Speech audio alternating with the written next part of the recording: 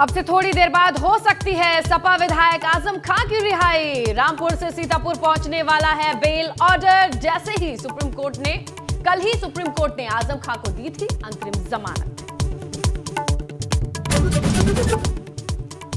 ज्ञान वापी मामले में आज सुप्रीम कोर्ट में अहम सुनवाई। दोपहर तीन बजे का वक्त सुनवाई के लिए तय। हिंदू पक्ष ने हलफनामा दायर करने के लिए मांगा था वक्त। सुप्रीम कोर्ट की रोक के बाद वाराणसी कोर्ट में 23 मई को सुनवाई।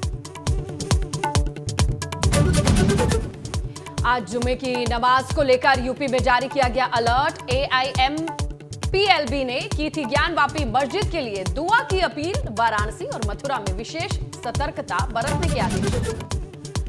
मथुरा श्री कृष्ण जन्मभूमि विवाद में आज भी होगी सुनवाई। गोपाल गिरी की याचिका पर सुनवाई करेगा fast track court. Shri Krishna जन्म स्थान की तेरह दशमलव तीन सात एकड़ भूमि मुक्त कराने की मांग। कल ही एक याचिका हुई है स्वीकार।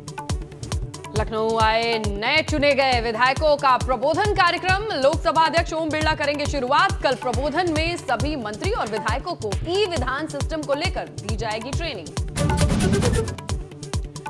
जयपुर में आज भाजपा की राष्ट्रीय पदाधिकारियों की बैठक। पीएम मोदी करेंगे वर्चुअली संबोधित। सुबह 10 बजे पीएम मोदी का संबोधन। संगठन की मजबूती। लोकसभा चुनाव समेत तमाम मुद्दों पर होगा मंथन।